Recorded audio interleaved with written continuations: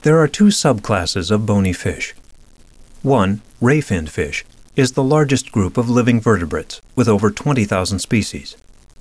The other, lobe-finned fish, has few living species, but has great significance as the group ancestral to land vertebrates. These two subclasses are distinguished by different skeletal structures in their paired fins. During the Devonian, lobe-fin fish were common in fresh water. They had nostrils which opened into their mouth cavities, and they had lungs. This allowed them to supplement gill respiration in water with respiration in the air, an important adaptation for animals living in warm water, which is low in oxygen. Their muscular fins may have supported them when lifting their bodies to breathe air.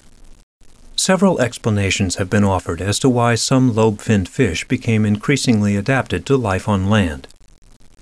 One is the diversity of terrestrial arthropods, which offered an abundant food supply.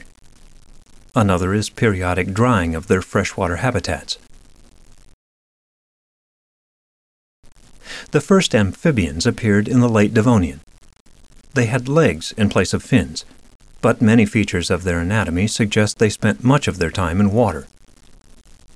These first terrestrial vertebrates share a number of features with the lobe-finned fish, thought to be their ancestors, including the arrangement of bones in their paired appendages and a unique folding of their tooth enamel.